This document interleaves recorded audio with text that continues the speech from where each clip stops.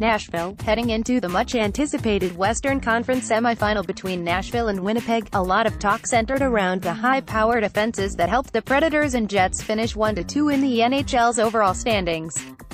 Flying somewhat under the radar is that the series also features two of the three goaltenders nominated for the Vezina Trophy.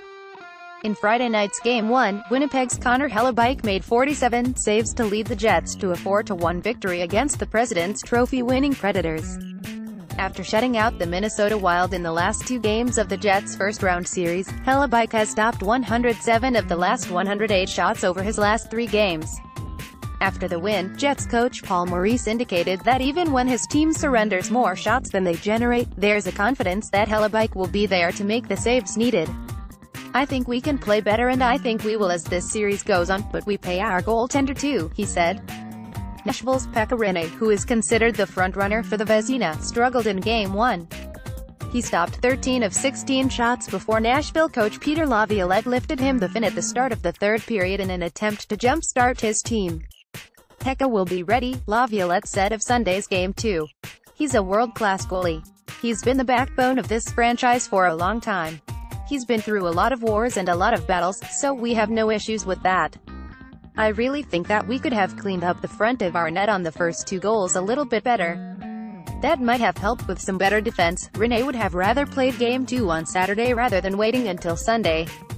I think that's the mindset you have to have in playoffs. Whatever happened yesterday, today is a new day and another opportunity tomorrow, he said. You lose a game in the playoffs and we played that well, obviously personally you want to be better. That's just the way it goes. The Jets have scored first in each of their six playoff games, something they would like to see continue against Rinne. He's an elite goaltender, obviously. I think both goaltenders in this series are, Jets defenseman Josh Morrissey said. It's hard to score on those guys unless you have traffic, second and third opportunities and plays around the front of the net. It's going to be a long series.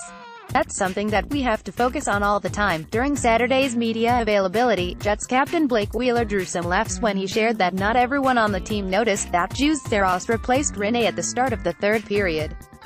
Saros, who is also a Finn, stands 6 inches shorter than Rinne. A good majority of us knew right away when we got on the ice, but then there was a handful talking after the game that didn't know, he said. So, we're just going to go with we were in the zone. It's easy to forgive the oversight on those who did not notice the goaltending changes Saros did not see much action.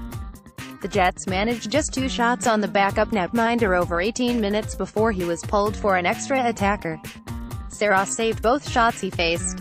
The Jets, meanwhile, aren't reading too much into Rinne being pulled in Game 1. Minnesota chased Hellebuyck in Game 3 and Hellebuyck came back and had two straight shutouts, said Jets forward Adam Lowry. You are going to look at Pekka, I don't think the goals are on him. He's a tremendous goalie over there. We are expecting both goalies to hold their teams in the games.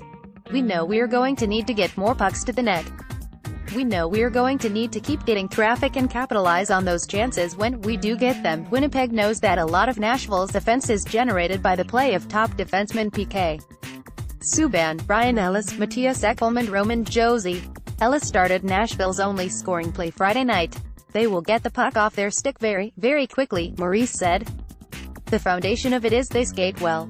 They get to pucks early and they have an awful lot of confidence. And then they have a real good transition game.